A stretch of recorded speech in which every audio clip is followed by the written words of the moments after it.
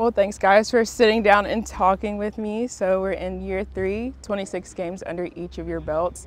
I know you all probably have plenty of goals that's on the list for this upcoming season, but Dane, I want to start with you. I know this summer you put on some weight.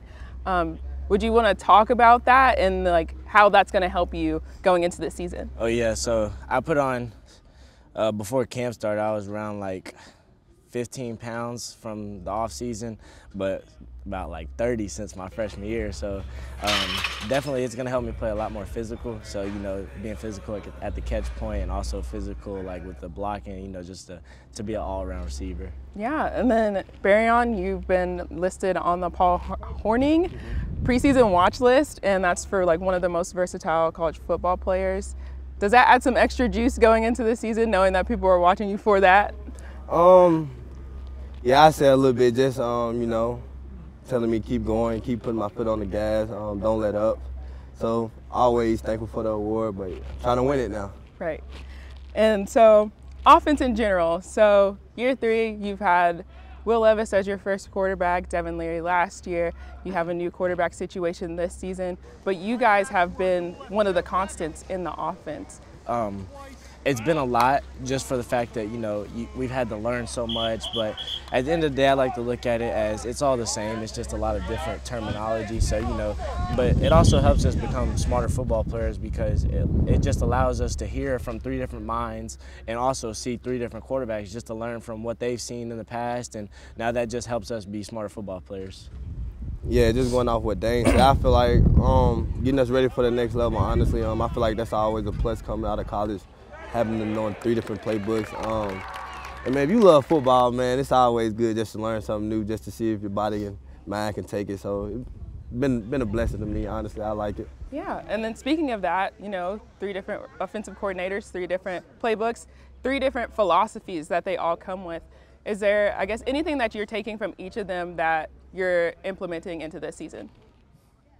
Let me go first. Yeah. yeah. yeah. I would just say, I would just say, you know, um, I definitely took a lot from all three of them because there's all, there's so much football in the world. So you know you can hear one thing from one coach, and then you can bring it over to a new coach, and you can have that perspective, and you can tell that to the new coach, and maybe that's something he learned for the first time. So then, like I said, it's just so much football to go around that you can learn. You know, just be a constant learner, a lifetime learner. So you know, just hearing that from three different coaches and just allowing you to grow from that just helps helps me personally become you know just smarter. Yeah agree with Dane. He couldn't say it any better.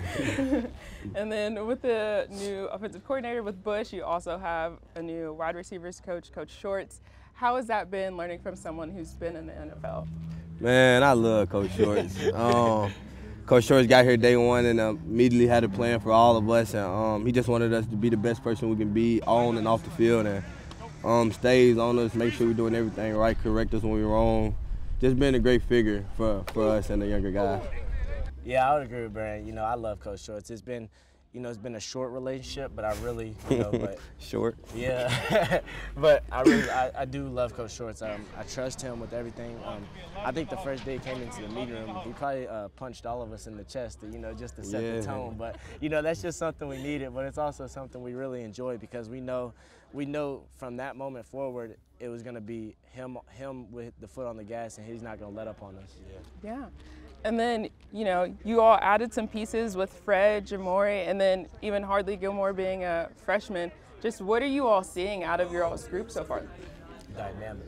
Yeah, um, yeah, just seeing a, a bunch of guys buying in and um, like I said, I take coaching from Dan, he'll take it from me, we'll take coaching from AB. It ain't just because we're the older guys, we don't feel like we can't take coaching no more um, lessons. So, you know, just everybody's buying in, everybody's on the same page, and we all know what we want to get to at the end of the day.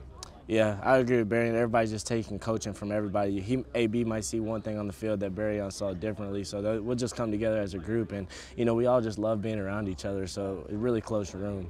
Is that anything that you guys, as the older you all, along with Anthony, talked about, or is that just something that you all took on yourselves? As like we're gonna help lead the group. Yeah, I feel like that's just something that's everybody wants the best for one, um, one another. I want to see Dane win. Dane want to see me, me, me win. We want to see Harley win. And in order to do that, if I'm doing something wrong, they should be able to call me out, and I should be able to take it. So um, just knowing that's the type of room we have, that's always good. You know, I don't, I didn't see us you know, really make that like a point of emphasis in our room. I just feel like we're all so close, and like Barry said, we all just want to see each other win. So I think it just happened naturally. Yeah. And then how are you guys translating that with the quarterback situation? Yeah, I will. Uh, I think I think that also plays a part with the quarterback room because, like, we don't watch film as a receiver room. We watch it as a whole offense.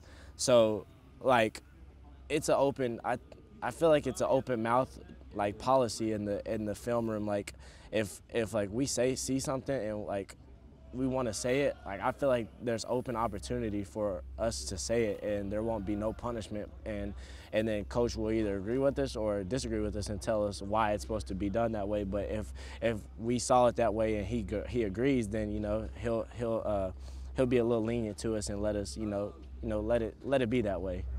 Yeah, agree. Um, me and Gavin live kind of close to each other, so we top things up about football all the time. Uh, go outside, throw a little bit, just to be on the same page. Um, go over the script together.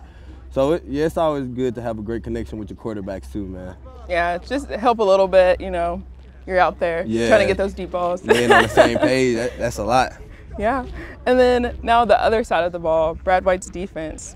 What are we seeing out of them? Honestly, I feel like he always get the defense ready. They they can they come prepared every every day, every year. Honestly, um, but seeing seeing some of the guys that we came with stepping up, like Alex, um, Alex doing good. Of course, Max and them doing great. Dion coming along. So, you know, just knowing when we got the ball in the end zone, we can get it back and put it in the end zone again because the defense gonna get us a stop is always good. Yeah, I feel like just going against our defense, you know, I feel like our defense, especially, I think they listed our secondary as one of the best in the country this year. So, you know, I just feel like that helps us because we go against the best secondary in the country every day. So that's just going to help us get better each and every day. Yeah, Coach Stoops mentioned a point of emphasis, emphasis for the cornerbacks was for them to become more sticky. Um, have you all noticed that in Maxwell's growth or anyone else? Yeah, yeah. no, I'm kidding. Uh, I, I feel like it's just competitive out there every day. Um, they come ready to play, and then we're gonna bring it every day. We so so they see us bring it, we see them bring it. Now it's just now it's just competition. Yeah, Yeah. it does get sticky because they they like the whole, but, but we don't get to say too much about that. And then obviously Maxwell's name comes up every time we're talking about defense. But is there anyone else that you all see that's standing out right now? I can't I can't point one person out on Yeah, that just defense. I feel particular. I feel like everybody's just like they all play together and they're all just they're all around the ball at all Yeah. times and they're all gonna make a play when if it if it's one on one against a safety, my our safety's beating them. Yeah. If it's one on one against our D line against somebody else's O line, I got faith them. in our D line. Linebackers, you know, every every position on our defense is just they're they're balling. Agreed.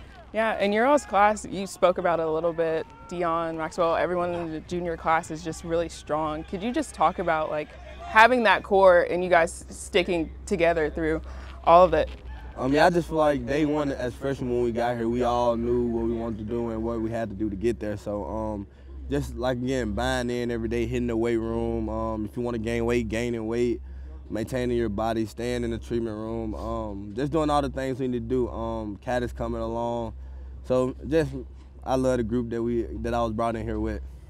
Yeah, um, like I said, I just feel like I think this is one of the closest teams I've been a part of at Kentucky. Agreed. And I think it was just you know we did a lot of team building with each other in the uh, in the off season, and I really feel like that helped us a lot. Yeah. And then, so I have to ask, how excited are you guys to play under those lights in Kroger Field? Man, I can't wait. feel like it's so far away, but it's so close. So you know, just count the days down, trying to stay, keep my composure. But Saturday come, man, I'll be acting crazy.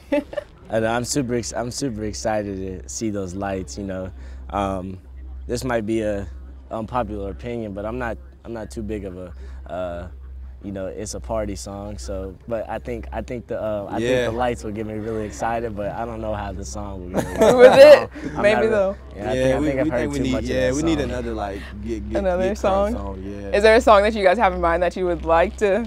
Mm, Not really, just Not something. yet. I'm tired. We need I'm some, yeah, new generation. It's a, it's a party. Yeah. Get something else going? Yeah. Okay, maybe Walker we'll. was at the Georgia game, So, so, I don't know why we still support them. Yeah. Re- real Find somebody though. else to come to the Yeah. games. Yeah. Fair, fair. And then, um, so I have to ask, who's going to be the first to get to a thousand yards? Dang. I don't know. It's I think I think I think it'll be a fun competitive race. Yeah. I think I don't think well I think we both can do it. I think Me too. I think everybody in the room can do it, but I think but I do think it'll be a, a competitive fun race, but Mm-hmm. I think we'll both do it and I don't think whoever whoever gets it first the next the one who gets it the opposite is going to say your turn. Yep. I think that's Fair. all Just it'll like be. that. Good. It's brotherhood, real brotherhood right Gotta. Literally. Be. Gotta be. Anything else, Keith, that I might not have asked? Hey. That was good. Thanks, guys. Oh, thank you.